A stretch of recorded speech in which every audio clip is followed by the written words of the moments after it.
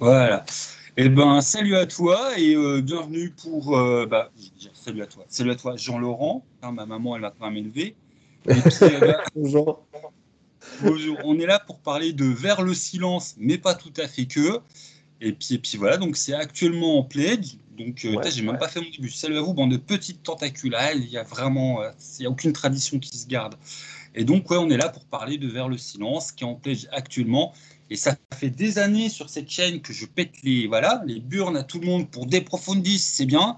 Et ben Deprofundis, il a un héritier et il va être traduit en français maintenant parce que à la base, c'est un anglais qui a fait ça. Et puis voilà, je, je développe ou tu présentes ton jeu ou voilà, je... Eh ben écoute, euh, mer- merci pour l'intro. tu as dit l'essentiel, donc on est sur un, un jeu, euh, un jeu de science-fiction épistolaire, donc par mail pour deux joueurs. Euh, et on est très très fiers, donc je la montre d'autant plus, la couve française qui est particulièrement réussie. Damien Dufresne qui nous l'a fait. Vraiment, il y a tout de résumé là-dessus. Et le pitch du jeu, il est aussi simple que ça. C'est euh, l'humanité part, euh, part vers Tossetti euh, s'installer. Et on va suivre un des deux joueurs qui est dans la, flotte, la flotte génération qui part là-bas, et un autre qui reste. Et ça va être l'échange. Et oui, et l'échange va. Pour ceux qui n'ont pas lu le Tossetti, c'est en fait une superstructure que l'humanité a trouvée euh, très très loin et du coup, bah, en fait, tout le monde ne peut pas y aller. Donc il y a une partie des gens qui y vont, la flotte générationnelle, et une partie des gens qui restent sur Terre. Et euh, on n'en sait pas plus que ça du point d'arrivée d'ailleurs. hein. Il y a tout l'aspect découverte. On est vraiment sur un départ à la, un peu à, l'époque des Magellan et autres. On va découvrir quelque chose. On ne sait pas encore exactement sur quoi on va tomber. Et ce qui est intéressant, c'est qu'on est sur un, mode, euh, je trouve, qui est, très axé aujourd'hui avec le, mode de jeu d'aujourd'hui. C'est du deux joueurs, c'est à distance. Ça peut se jouer en une après-midi ou sur des mois, suivant le, rythme de jeu que vous avez. Comment ça se passe très concrètement? Ben, C'est ultra simple. On définit deux personnages aujourd'hui. On définit leurs relations. Est-ce que ce sont des frangins, des amoureux? Est-ce que c'est des, des collègues de travail? On définit celui qui part ou, et celui qui reste. Et c'est parti. On répond à quelques questions pour lancer les, premiers messages. Celui qui part euh, ouvre le bal. Celui qui reste répond. Et à partir du deuxième message, ben, il suffit d'avoir un, un paquet de cartes, un paquet de 54 cartes standard et on retourne une carte à chaque, avant d'écrire son message. Il y a deux infos qui sont données, toutes bêtes. La couleur trèfle, carreau, cœur, pique, ça donne un événement principal. Je suis dans l'espace, je viens de me prendre un, choc, qu'est-ce que c'est? À moi euh, d'ouvrir la voie. Et, le chiffre donne un événement personnel. Par exemple, j'ai reçu un blâme. Aujourd'hui, je me suis fait engueuler au boulot, qu'est-ce que c'est? Et à partir de ces deux contraintes-là, ben, on, va constituer sa réponse en plus de toutes les discussions personnelles qu'on aura eues et qu'on qu'on va accumuler et ainsi de suite. Et petit à petit, à chaque message, évidemment, le temps passe et au bout d'un moment, bah, on va aller vers le silence parce qu'au bout du 7, 8, 10e, 12e, donc il y a une petite règle aussi pour déterminer la fin, et bien ce sera le dernier message et on devra envoyer un message en sachant qu'il n'y aura pas de réponse derrière. Voilà.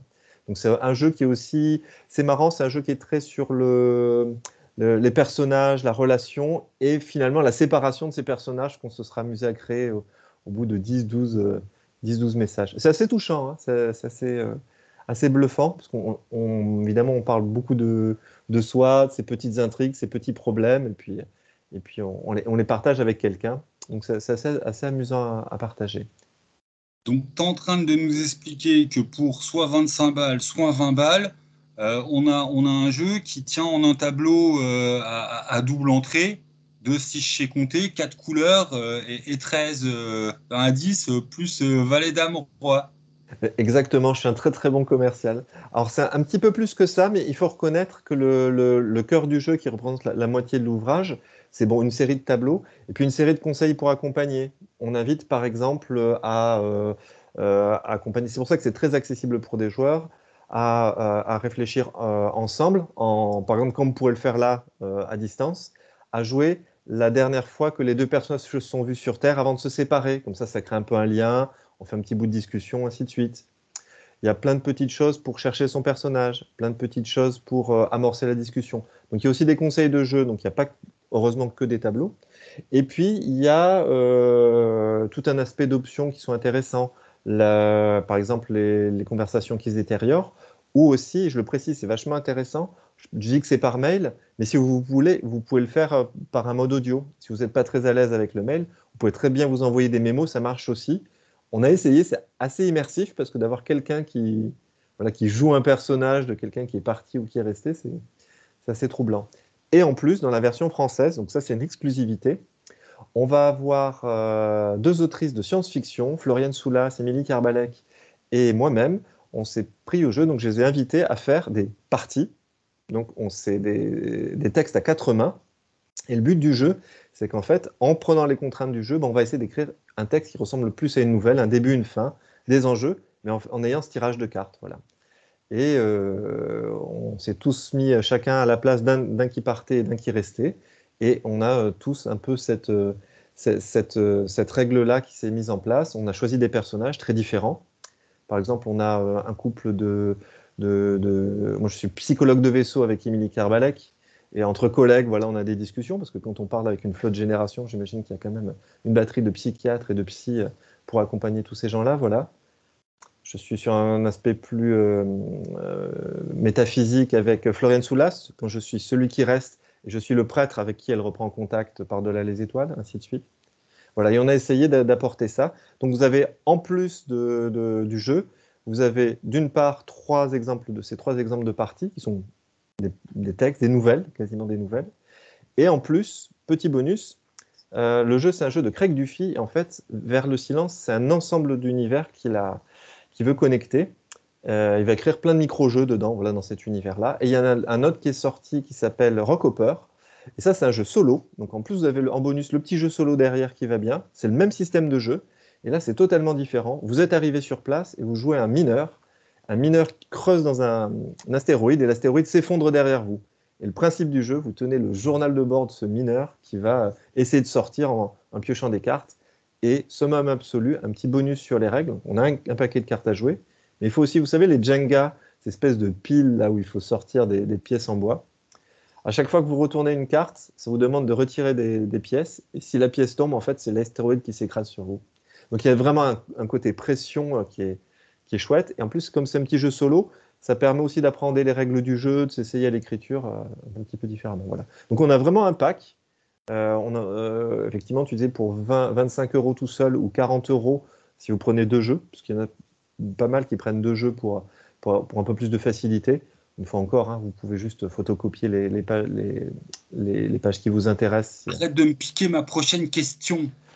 Je ne piquerai pas la prochaine, donc, mais donc, pour vous dire, vous avez Vers le silence, vous avez en plus les, trois nouvelles qui sont autant d'exemples de jeux, et vous avez le petit jeu solo bonus dans le même univers. Donc, vous avez vraiment un pack complet de quoi jouer vraiment longtemps, hein, pour le coup. Hein. Donc, c'est. Enfin, on, développera ça dans les dix prochaines minutes, mais on est vraiment sur euh, cette forme d'hybridation. Putain, je sais plus parler, d'hybridation. Euh, jeu de rôle, littérature, ça fait très longtemps que la littérature a nourri le jeu de rôle on pense à Cthulhu, l'un des, premiers ah jeux, qu'on doit tout à Lovecraft. Et on a régulièrement des petits, euh, des petits retours et des petites tentatives, euh, bah, justement, d'hybridation. Enfin, là, sous la main, j'ai pris euh, Croqueur d'or et la trilogie de Batro, qui sont à la fois bah, des romans et avec des jeux dedans. On a, j'ai encore massacré le nom, désolé, les auteurs, Batsid, qui scénarise, enfin, dont tous les scénarios sont, sont sous forme de, nouvelles. Voilà, on, a des, des, tentatives comme ça. Euh, on a euh, les trucs comme par exemple euh, Chronique de l'étrange, avec Hong Kong Chronique de l'étrange, où tu as à la fois l'auteur des romans qui est l'auteur du jeu. Mais là, on est vraiment. Enfin, depuis des profondis, on n'avait rien qui était aussi, d'un point de vue littérature, abouti et qui amenait le joueur à être. je ne sais pas s'il est écrivain, mais en tout cas, il est écrivant. C'est déjà ça de prix. Et, et puis voilà. Non, j'oserais rajouter même que ce qui est, ce qui est sympa, c'est pour ça que j'ai commencé par Cthulhu, c'est qu'on boucle la boucle, c'est-à-dire on est parti de livres qui inspiraient et qui nous donnaient des jeux de rôle, et là on est sur des jeux de rôle qui inspirent et donnent des livres. Et euh, j'ai fini de... Mais euh, ce qui est intéressant, c'est ce que dit, c'est cet aller-retour, parce que dans les grands anciens de, du jeu de rôle, tu as l'appel de Cthulhu, et euh, tu as eu très vite le jeu de rôle dans la Terre du Milieu, JRTM, aujourd'hui tu as l'anneau unique. Donc il y a quand même le corpus quand même imposant, notamment en fantasy, du texte, du texte qui va servir euh, d'univers en fait pour le jeu de rôle. Et c'est assez fascinant. Et ce que tu dis est vrai aussi, c'est-à-dire qu'on a quand même toute une génération depuis le début des années 2000, fin des années 80, en francophone, je connais moins le monde américain, où tu as cette espèce d'ambiguïté, où tu as des rôlistes qui deviennent auteurs et qui reviennent euh, soit dans leur univers, soit dans des univers proches, à adapter leur, euh, des bouquins en jeu de rôle francophone. Donc c'est vrai que ça. Là, on, est, comme tu disais, des profondistes. C'est vrai qu'il y avait un petit gap parce que euh, ça, ça, avait interpellé. Il y a eu quand même pas mal de gens qui, s'y étaient mis. Mais c'est vrai qu'il n'y a pas eu. il a manqué un peu le, le, lien. Il y a eu quand même quelques essais en anglais. Notamment, il y a un truc qui s'appelle, j'ai oublié le nom, euh, qui euh, vraiment qui est pareil, qui est un jeu de rôle solo où on écrit des, des, lettres. Voilà, on écrit des lettres. Et ils ont mis des patchs, donc c'est d'abord au, médiéval, puis après ils ont fait un truc d'horreur, ils ont fait un truc de SF, ils ont fait Quibbles, je crois que ça s'appelle. On commence à partir euh, en. J'ai essayé de structurer la vidéo pour une fois. on essaye de caler tout ce qui est important en mode vendeur de tapis au début. Euh, on n'a pas parlé euh, de l'offre à, 60 balles où il y a, il y a le all-in de chez vous, dont entre autres ton jeu à toi. Donc vas-y, fais ton instant promo. Euh, pourquoi l'offre à 60 boules est intéressante? Et au bah passage, j'ai pas de SP, je fais partie des pledgers. Je cherche un binôme pour pledger. Tom, Tom. C'est un message personnel. Tom crack. Pardon. Donc l'offre à 60 boules, qu'est-ce qu'il y a dedans? Juste un mot sur l'assaut, quand. L'assaut, c'est fait... C'est vrai qu'on fait, fait, pas... on fait pas que ça. Moi, j'ai développé cet aspect-là, euh, le lien entre l'écriture et le jeu de rôle, parce que je suis romancier à la base et que je fais du jeu de rôle, donc ça m'intéresse justement toutes ces interfaces. Mais euh, l'assaut qui s'est réactivé, elle s'est réactivée autour de, ça. Alors là, c'est les, clichés dans l'histoire. Euh, non, ça s'appelle les clichés, pardon. C'est un temps dans l'histoire, les clichés, il est épuisé c'est euh, euh, on fait des actes de colloque pour des, hum, sur des festivals de reconstitution historique. Donc, on a des reconstituteurs qui ont aussi des, gens qui interviennent et ils font des actes de colloque tous les, tous les deux ans. C'est un, festival qui s'appelle Festin d'Histoire, qui est très très chouette. Si vous êtes dans l'un euh, dans l'un au mois d'octobre, tous les deux ans, vraiment, c'est dans un château, c'est super classe. Et c'est comme ça que tous les deux ans, on a un peu ce travail-là.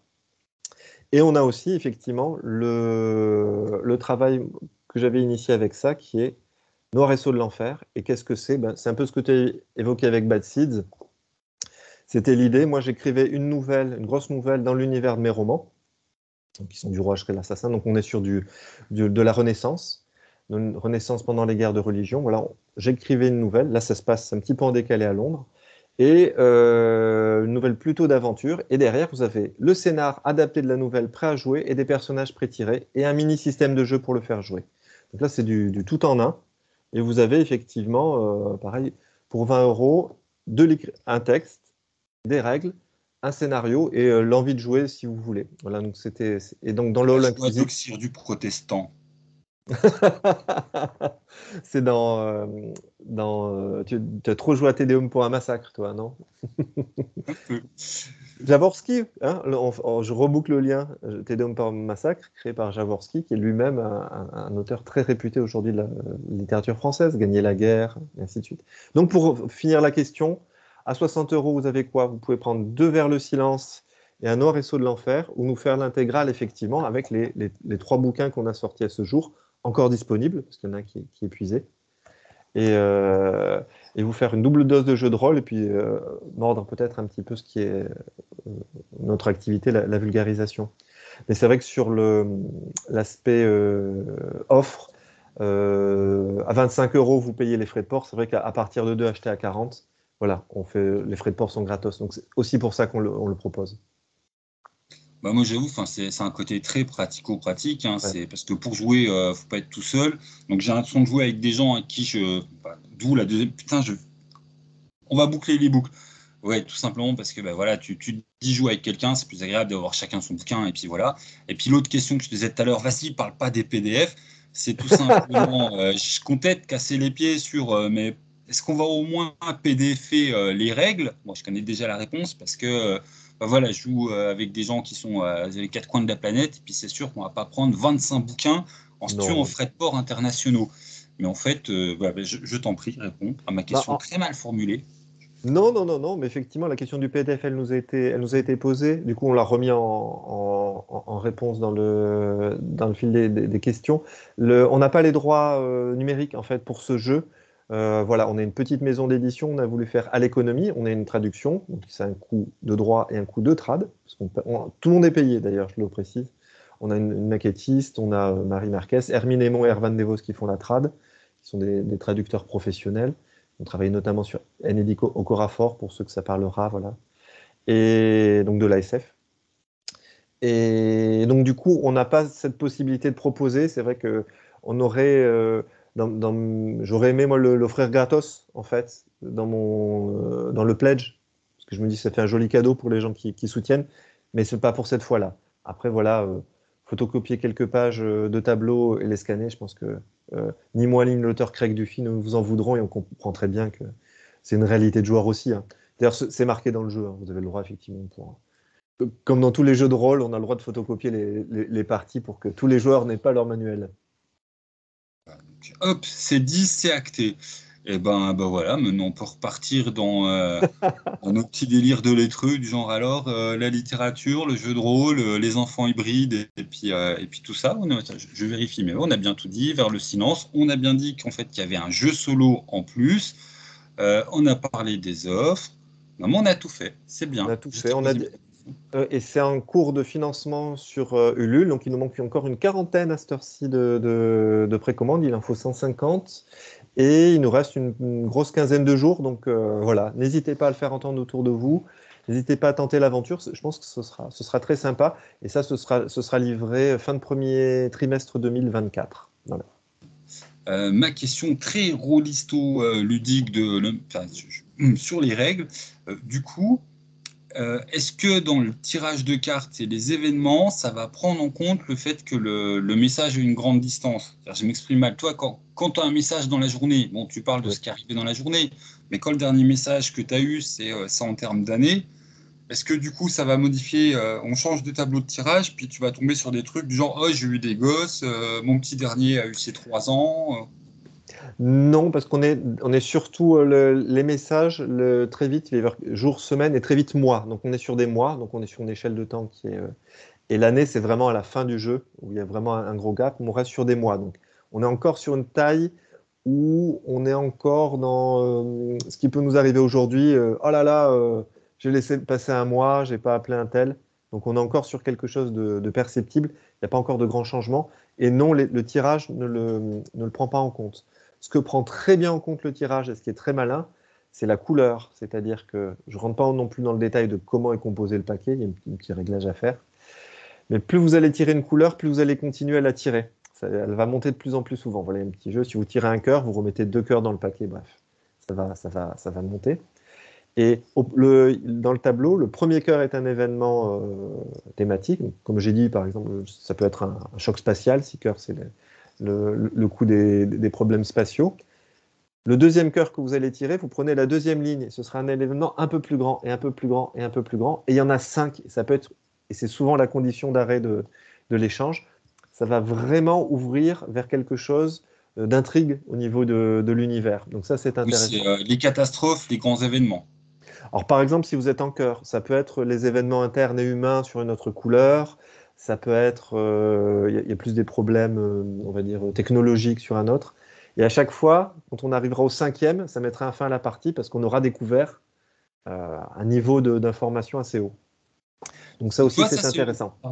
Oui, parce que c'est une ambiguïté. Quand je, relisais encore votre page, j'ai frôlé le travail hein, pour l'interview. Ah, bravo. Et je me disais, toi, est-ce que le côté... Qu'est-ce que ça voulait dire quand, quand vous expliquiez les règles il y, a, euh, il y a des événements pour chaque couleur. Je me suis dit, mais c'est pas possible, le jeu, il peut pas avoir que quatre éléments, euh, parce qu'il y a que quatre couleurs. Donc c'est ça, en fait.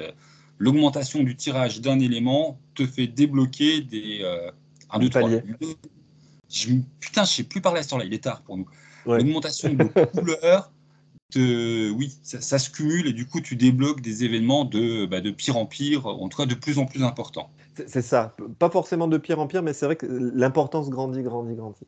Et de la même façon, sur le petit jeu solo, euh, pourquoi je l'ai mis? Alors, euh, il a un aspect déjà euh, ludique très marrant. On peut essayer tout seul, donc c'est drôle. C'est assez prenant, ça s'essayer à cette mécanique-là. Et surtout, il fait découvrir des secrets de l'univers si vous arrivez au bout sur certains tirages. Donc c'est vraiment intéressant de, de, rentrer dedans parce que Vers le silence, c'est vraiment le voilà, l'auteur Craig, Craig Duffy a, dit son univers, ça s'appelle The Dyson Eclipse. Désolé pour le, mon anglais qui est, très mauvais. Et dans cet univers-là, vers le silence, c'est le début. C'est espèce de préquel où on, va vers euh, Tossetti, on va vers Alpha du Centaure, et en fait, on verra rien là, vous verrez pas plus. Mais il y en a des petits bouts révélés dans l'autre. C'était aussi pour pas rester sur sa frustration.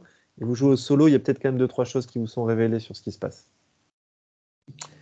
Et petite nouvelle, moi j'ai pledgé en anglais sur la suite, donc sur le jeu de rôle qui sera coopératif a priori, euh, qui se rappellera euh, euh, The Hopes of the Orbital Bound et qui est le jeu où vous arrivez à, à et Alpha du Centaure. Mais je ne sais pas encore ce que ce sera parce que le jeu n'est pas arrivé. Oui, l'auteur, il construit vraiment son, son jeu par des 1, 2, 3, son univers par des petits morceaux de jeu, euh, ce que tu disais tout à l'heure. Et c'est malin parce que on parle de voyage, un truc épistolaire à distance, c'est plutôt très malin. Un jeu collaboratif pour créer l'univers en commun, c'est plutôt très malin. Un jeu solo pour un truc d'horreur euh, où il y a des secrets à, percer, en plus en, forant, parce qu'on est mineur, c'est plutôt malin. Je trouve qu'il est, plutôt inventif sur, le, sur les formats. Moi, je suis assez, preneur. Ouais. toi, quelque part, ça me faisait penser à tout ce que Batro avait, développé dans son Batroverse, parce qu'il y, a y a cette thématique et sa cosmologie de fond. Mais là, en plus, on a la transformation du média ludique. Complètement, complètement. Et puis, moi, ce qui m'étonne, c'est que tu disais euh, le, le De Profundis qui, était, qui marquait le départ, et puis il y a eu deux, trois essais. Moi, j'ai été surpris ces temps-ci euh, des jeux solo, et puis des jeux euh, comme Hop, des, jeux comme j'ai par là, euh, Chronique d'un vampire millénaire, qui est pareil, des jeux solo où on écrit, euh, on, on, a vraiment. Hop Mais vraiment, euh, où le. Pour une pompe pour la loutre, et pour pas faire de, de jaloux, le, du, côté de, de, Arkane, le très beau colossal aussi, qui est, qui est, vraiment, qui est vraiment intrigant. Je trouve qu'il y, y, a plein de choses qui sont assez inventifs et euh, est-ce que c'était passé sous les radars? Est-ce que je m'intéressais moins aux jeux indés depuis quelques années? Mais je trouve au contraire qu'il y en a plein ces temps-ci. Je sais pas ce que toi tu en dis, mais j'ai l'impression qu'il y a une, euh, un renouveau un petit peu. Il y a une explosion au niveau du jeu de rôle. On disait souvent l'âge d'or, les années 70-80. Il y a de plus en plus de personnes qui trouvent que l'âge d'or, c'est maintenant. On, a ah le mammouth, on a le mammouth des dessins qui, prend beaucoup de parts de marché, mais du coup, ça crée euh, bah, toi, ça crée énormément d'intérêt pour le jeu de rôle de gens ah qui avant nous jetaient des cases dans la gueule. Hop, on fait son caliméro. Mais du coup, sur la marge, il y a vraiment pas mal de, petites productions qui sont en train de, toi, de, naître. Enfin, à tel point que les, purs puristes à l'ancienne, maintenant, tu arrives à avoir des engueulades sur mais non, ça, c'est pas du jeu de rôle. Quoi. Ah oui, mais c'est drôle, c'est super drôle. Moi, je me rappelle que le premier choc, ça avait été le, jeu de rôle sans MJ. Quand c'était arrivé, les gens disaient que c'était pas du jeu de rôle alors que je trouvais ça hyper, euh, hyper intéressant. Pareil, ça bousculait un peu les habitudes, ça mettait à l'horizontale. Voilà. C'était. Je pense qu'il y a plein de choses à faire, c'est pour ça que le... quand j'ai lu Vers le silence, je dis mais, mais c'est un truc, c'est vraiment dans l'air du temps. on a mis en ligne euh, sur la page Ulule l'interview de l'auteur Craig Duffy. Euh, il l'a pensé à une époque où on était à Covid, on, qu'on était, on était séparés, un truc avec, sur de la mobilité. Euh, parce que finalement, il dit, moi j'ai des gens qui jouent euh, sur leur téléphone portable dans un train, tu vois, tu as trois heures à tuer, ben, tu, fais, euh, tu fais un échange dans ton train avec ton pote qui est, qui est resté, tu as vraiment la distance qui joue. Je trouve que c'est vraiment un jeu qui est dans l'air du temps et qui, qui permet d'essayer de, nouvelles choses et à la limite qui permet de créer des persos aussi. Je me suis rendu compte pour des jeux de SF, c'est un vivier, ça donne des idées à l'appel pour, pour voilà, créer une relation avec un autre personnage ou créer un personnage qui a déjà un passé. Enfin bref, c'est. Enfin voilà, je pourrais parler des heures, mais je, trouve que c'est. Euh, il y, a quelque chose de fascinant sur ces nouveaux jeux en fait. Tu m'as mis deux trucs en tête, parce que bon, on dit ouais, les jeunes ne savent plus écrire machin, n'empêche, ils ont un rapport à l'écriture avec le texto qui fait qu'ils y viennent. Je sais pas si c'est plus facilement, mais euh, alors qu'on est dans une société de l'image, il y, y, a un maintien de l'écrit grâce au texto. Et en plus, pourtant, on a réussi à parler de tous ces jeux sans parler d'Alice in Missing d'Alice Smith. Enfin voilà. Alors que, ok, on n'est pas dans un aspect littéraire, mais au niveau de, ah, du, jeu par, par écrit, on est complètement dedans. Ah oui, oui. Ben, j'ai aussi, j'attends de le tester là. Mais Moi, tous ces jeux, c'est marrant, tu vois, parce qu'en en tirant, on se rend compte qu'on les a tous vus passer ou essayer ou jouer. En fait, il y a quelque chose de fascinant parce que j'ai l'impression qu'on cherche des ovnis qui sont, qui sont pour l'instant rares. Mais j'ai l'impression que là, on est, euh, c'est le calme avant la tempête. J'ai l'impression que d'ici 3-4 ans, plein de choses vont arriver. Plein, plein, plein. Euh, euh, peut-être en lien avec la tablette, peut-être directement en lien avec le téléphone, je ne sais pas.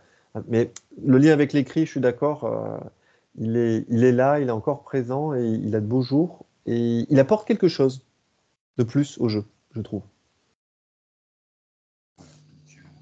Si vous voulez jouer à la papille, faites marcher la poste. Et puis sinon,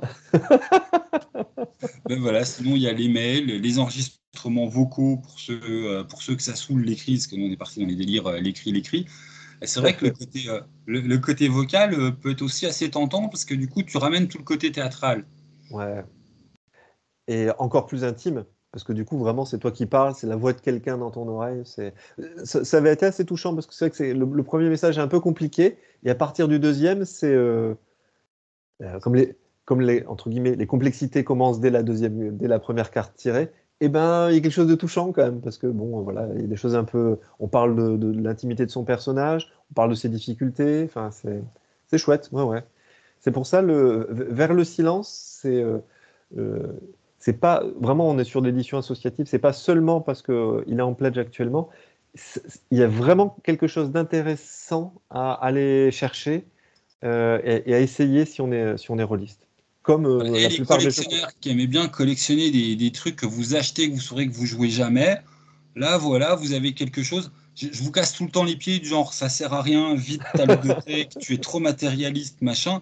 Bah là, pour le coup, un, vous. Enfin, il y a vraiment un aspect. Euh, soutenir le développement du jeu de rôle, quoi. C'est con à dire, mais voilà, hop, c'est dit. Donc, euh, même si tu penses que tu n'auras pas de copains, il peut être intéressant quand même pour euh, l'avenir du jeu de rôle. J'ai aucune part de marché. Pour la petite histoire, le truc drôle, et je terminerai avec ça, on se dit, ah, on ne sait pas si c'est accessible ou pas. La traductrice qui était tellement intriguée, et on a une éditrice sur les textes et sur la maquette, elle a lancé une partie euh, avec, euh, avec l'éditrice. Donc, on a deux personnes qui ne sont pas forcément dans le, dans le jeu de rôle. l'éditrice, si un peu, mais euh, la traductrice part du tout, qui a dit quand même cet objet, enfin, ça a l'air simple. Elles ont, elle a lancé une partie et là, elle joue. Elle découvre voilà, cet échange. Et, donc, il y a quelque chose de fascinant, en fait, de se laisser prendre au jeu et trouver quelqu'un pour une partie, pour quelques échanges une fois par semaine si un truc que je voulais dire aussi, si vous êtes fan de RP Forum, RPG Forum, on est vraiment dans cet esprit-là. Vous postez quelque chose, vous attendez euh, le lendemain pour voir si l'autre a répondu. Il y a aussi cette attente-là qui est assez chouette. Voilà. Bah, du coup, euh, zut, ta clou, moi je, voulais venir sur le, sujet. Enfin, ça, je repensais tout à l'heure, comme tu présentais le côté pour ceux qui ont peur de l'écrit, il y a l'oral.